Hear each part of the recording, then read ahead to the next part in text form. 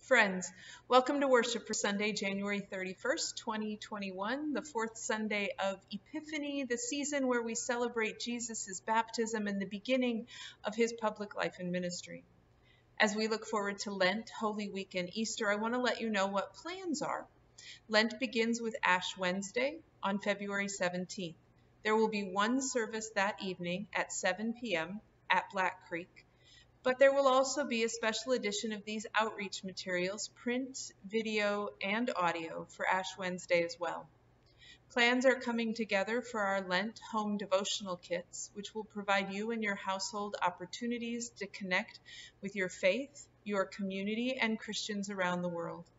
Those will be available by Sunday, February 14th your parish leadership at all three churches and I continue to work on what Holy Week and Easter will be like and how to keep everyone healthy and safe while still joyously celebrating the good news of the resurrection. Thank you to everyone who stayed after worship last week at Black Creek for our annual meeting.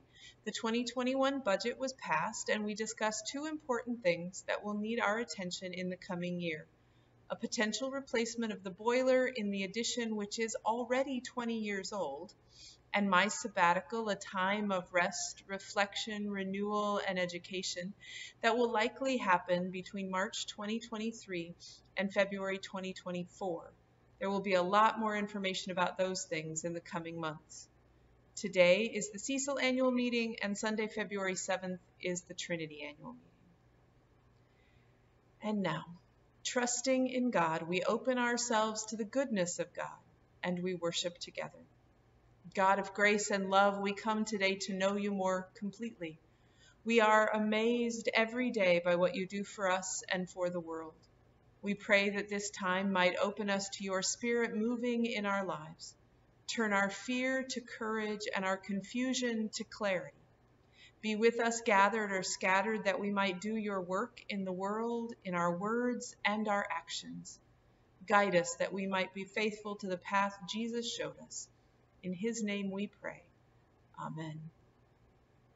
Our first hymn today is Praise to the Living God, a celebration that our God is not some remote, far off deity who doesn't care for us, but is here with us, alive in this moment, a part of every aspect of our lives. Thank you.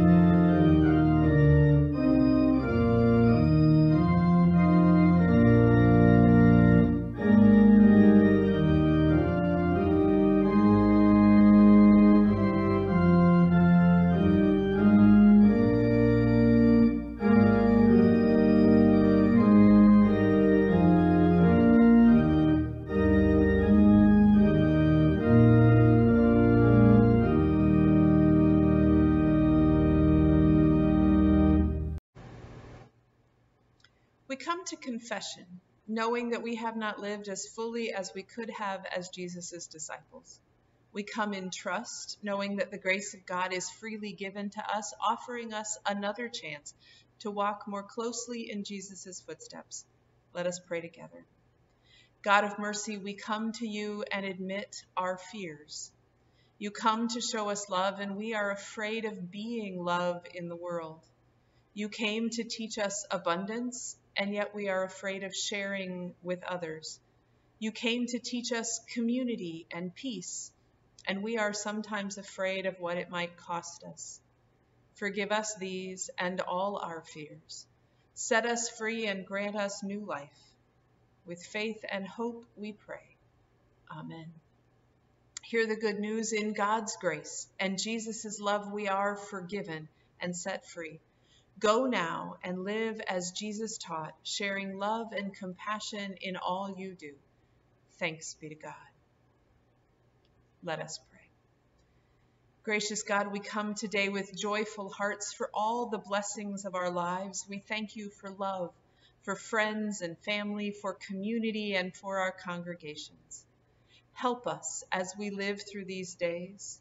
Guide us that we might be patient and compassionate and remember what is truly important in our lives and in the life of the world.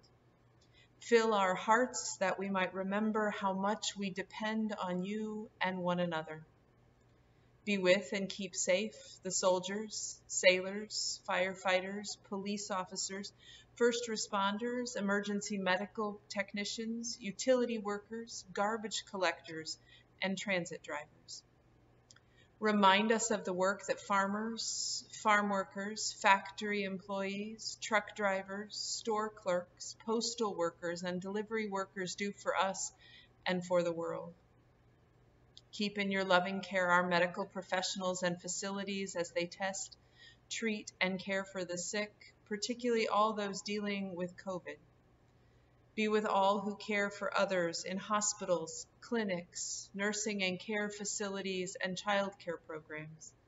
Give them strength and courage and all the supplies they need to safely do their work. Be with those who lead and make decisions about our collective health, carrying out public policy. As we near the year mark of living with COVID, renew our hope strengthen our faith, deepen our patience, and inspire our hearts. Be with all who are living with the effects of the virus in their bodies, their minds, and their souls.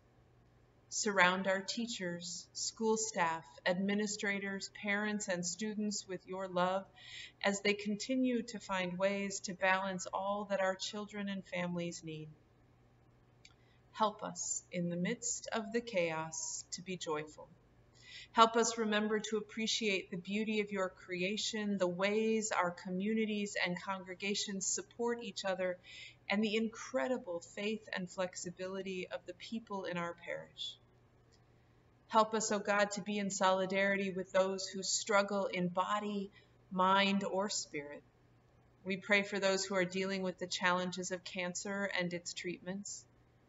We pray for those who have had or still have COVID, those who are dealing with its long term effects, and those who have lost loved ones to the virus. We pray for the health of our communities and every community around the world. Heal our bodies if that is possible, but surely, O God, help all our spirits be whole and one with you. Be with all, O God, who struggle with other problems including those who have broken and hurting relationships, those who are dealing with the joys and challenges of being in community, and those who have the struggles of addiction, anxiety, and their mental health, particularly in these days when treatment, support, and help are more difficult to obtain. Comfort all those who mourn, O God, and be with all who are struggling with grief and loss. Bring comfort to all who grieve. Remind us of your presence and your promise through Jesus of life everlasting. Be with the family of Caitlin Kelly as they continue to wait for news of her whereabouts. Be with all who are struggling in the midst of natural disasters, fires, floods, earthquakes, and more, and bring your peace to all creation. Be with all who are victims of sexism, racism, and all the isms that create hatred and discrimination. Be with all of us as we find a way to move forward together, to do our part in working to challenge and end those sins that cause us to be divided. Be with our country and our communities as we live together and find ways to be who you truly call us to be. Guide us, O God, and give us strength that we might open our hearts and minds and spirits to your presence and your grace. Help us that we might know the true peace that can never be taken from us. These and all our prayers we entrust to God who knows us better than we know ourselves, for God created us, loves us, and claims us as God's very own. We pray all things with the words that Jesus taught his first disciples, saying together, Our Father, who art in heaven, hallowed be thy name. Thy kingdom come, thy will be done, on earth as it is in heaven. Give us this day our daily bread, and forgive us our debts as we forgive our debtors. And lead us not into temptation, but deliver us from evil. For thine is the kingdom, and the power, and the glory, forever. Amen.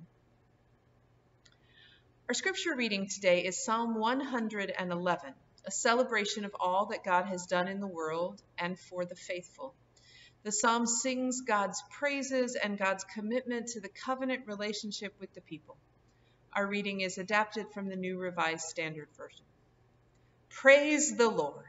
I will give thanks to the Lord with my whole heart, in the company of the upright of the congregation. Great are the works of the Lord, studied by all who delight in them. Full of honor and majesty is God's work, and God's righteousness endures forever. God has gained renown by their wonderful deeds. The Lord is gracious and merciful. God provides food for those who worship God and is ever mindful of the covenant. God has shown the people the power of their words in giving them the heritage of the nations. The works of God's hands are faithful and just. All God's precepts are trustworthy. They are established forever and ever to be performed with faithfulness and uprightness. God sent redemption to the people, has commanded the covenant forever. Holy and awesome is God's name. The awe of the Lord is the beginning of wisdom. All those who practice it have a good understanding. God's praise endures forever. May God add a blessing to the reading, hearing, and living of this scripture. There is one tremendous problem for people like us who want to read and understand the Holy Scriptures. That problem, of course, is that not one line of them, either in the New or the Old Testaments, was written in English. Most of us will probably never study the ancient Hebrew and Greek that they were originally written in, and even fewer of us are likely to take a course of study in Church Latin, the primary language the scriptures were in for centuries. This was, in fact, an important concern for Protestant reformers like John Wycliffe and Martin Luther.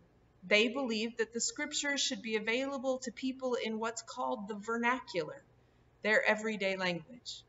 The scriptures shouldn't be, the reformers said, accessible only to the few, the priests and the monks, who were privileged enough to learn other languages.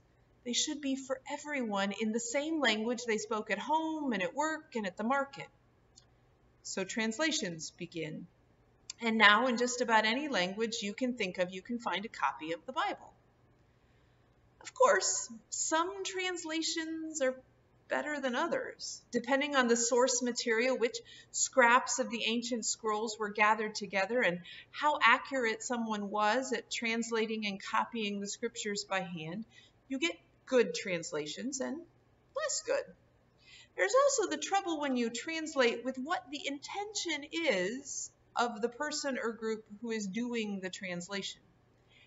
Everyone, absolutely everyone, has their own bias, their own opinion and ideas about what the scriptures should say to the work of translating, and that naturally affects the translation. So you're thinking to yourself, Pastor, why are you telling me all of this? What possible relevance could it have to my life today in 2021?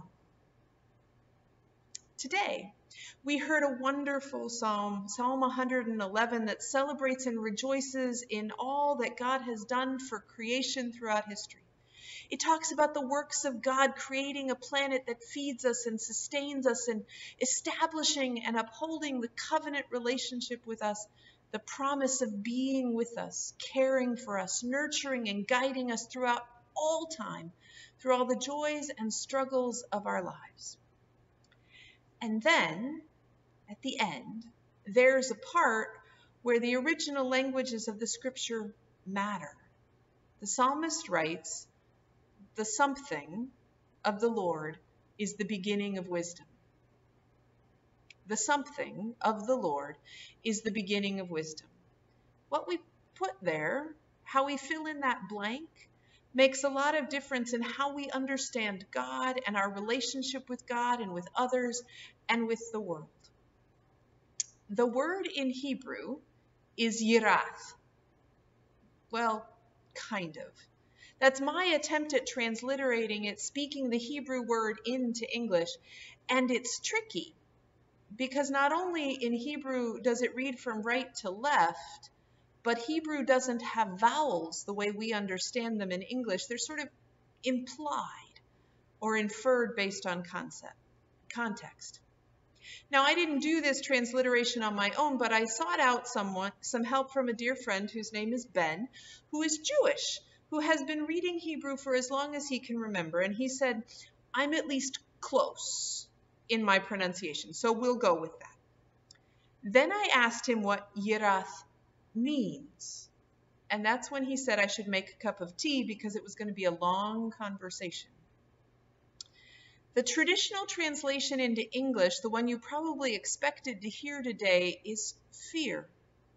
So that the verse would read, The fear of the Lord is the beginning of wisdom. And indeed, that's often what the context for the Hebrew word is in the scriptures. But it could also be understood as wonder or awe. So that the verse reads, as we heard today, The awe of the Lord is the beginning of wisdom. But why does it matter? Why does it matter if we say the fear of the Lord or the awe of the Lord? Well, what we think about God and our relationship with God affects how we live in this world, how we think about ourselves, how we treat other people, the choices we make about just about everything we do in this life. If we think we need to be afraid of God, of God's wrath and anger, if the idea of God fills us with fear and trembling, then we're going to live as fearful people. We'll be afraid of stepping out of line, of doing something that God will smite or damn us for. We'll live afraid of making mistakes and we'll treat the world the same way. We'll be afraid of other people, of strangers and those who aren't like us we will meet people with the same fear we meet God with, afraid that they'll harm us or hurt us, or they'll do something that will cause us to get in trouble with God. If we start with fear, with fear of the one who created us, then we're going to be afraid of the entire world, of everything we say and do, and all the people who share this planet with us. But what if we start with awe? with a sense of wonder and amazement at who God is and what God has done and is still doing in our lives. What if, instead of fear, we have reverence, an idea of perspective that God is so much more than we can imagine, so much more than our words will ever really be able to describe. And that isn't something to be afraid of, but something to embrace, to welcome, and to celebrate. I'd like you to think for a minute of the most beautiful images in nature you have ever seen. It could be a fabulous sunrise or sunset, or the way the leaves look in the fall when they're at their fullest color, or a field of wildflowers on a warm summer's day. For me, it's standing at sunset the mouth of the Russian River in California where it flows out into the Pacific Ocean while baby seals are being born on the shore. There, in that moment, I knew beyond a doubt I was standing in the presence of God. I wasn't afraid. I was at peace knowing that I was with the God who loved me and the whole world into life. I was amazed by all the things that God does, that these animals should know to come to this place to safely bring their young into the world. That the sky should be that particular color of pink and purple, that the sound of the waves meeting the rivers should be so much like a symphony, and that I, one of billions of humans, should be there to witness it all. I stood there in the presence of the Creator, the one celebrated in our psalm today without a trace of fear, but with the deepest awe and wonder and amazement at all that God does for me, for those seals, and for the world. What if that was how we looked at the world and our place in it, with a sense of awe and amazement instead of fear? What if we woke up every morning and thought, I wonder what incredible things God has in store for me and for creation today? Or I wonder how God will remind me that I am loved and I need to love others today. What if, instead of fearing God's smiting and disapproval, we marveled at how God has been with us and with all creation, fulfilling the promises of the covenant each and every minute of our lives? Now I know I am a card carrying optimist who has trained myself to look for the good and the hopeful. But I really do believe in the depths of my soul that if we looked at the world, the world God created in love, the world God declared good and blessed, the world that God sent Jesus to live in, not to condemn, but to love it into something better. That if we looked at the world that way, it would change everything about how we live, and it would truly change the world. It's not easy, particularly if you watch the news some days or if you're in the midst of your own struggles with all the challenges that life brings. But that's why we do it together, why we live a life of awe and wonder as God's people together so we can support and encourage each other when the going gets tough, so we can remind each other of God's goodness of our goodness, of the goodness and love that fills every part of creation. We train ourselves on a daily basis to see the hope, the love, the peace, the beauty, the courage, the goodness of humanity. And we forget when we get down on ourselves and the world and think there's only despair, and then we remind each other of it of the promise of God's covenant love that is with us forever through all that life brings. Then, my friends, then the words of the psalmist will come true, and the awe of the Lord will truly be the beginning of our greatest wisdom. A wisdom that lets love fill us and all creation and truly builds the kingdom of God's promise. Amen. Let us pray. God of compassion and kindness, we thank you for gathering us together from all the different places of our lives as one people. Remind us of your grace poured out for us and for the world. Strengthen and inspire us as we grow into your community of beloved children. Help us to live as Jesus did, reaching out to those who are dismissed by the world, comforting those who are struggling, rejoicing with those who are celebrating, weeping with those who are grieving, and loving everyone as we find them, without exception. In Jesus' name we pray. Amen. From the great congregational hymn writer Isaac Watts, this hymn, I Sing the Mighty Power of God, is one of my favorites, a celebration of God's presence throughout all creation.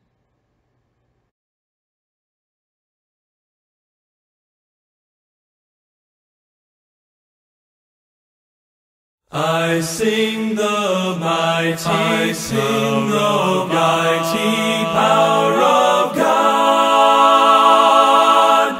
that makes the mountains rise, that spreads the flowing seas abroad and build the lofty skies.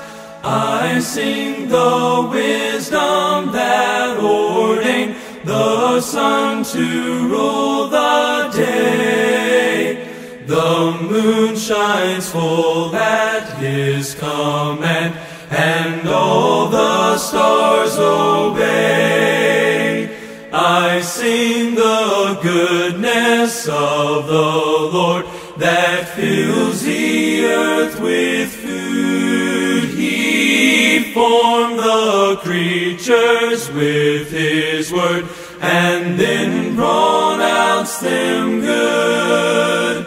Lord, how thy wonders are displayed where'er I turn my eye. If I survey the ground I tread, or gaze upon the sky,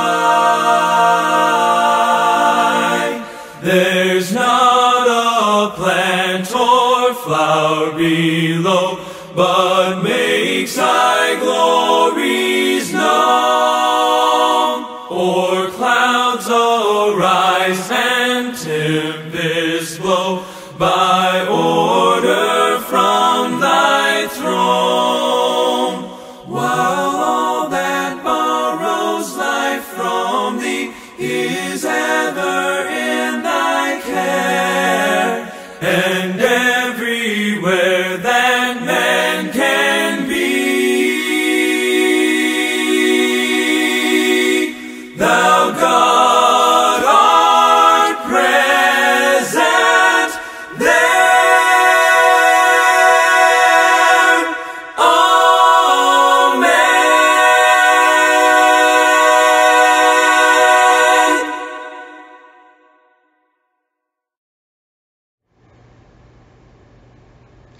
And now, my friends, receive this benediction. May you know the love of our congregations that provides us with community and strength through all our days. May you know the grace of God, the love of Jesus, and the encouragement of the Holy Spirit, and may they bring you hope, peace, love, and joy in these days and always.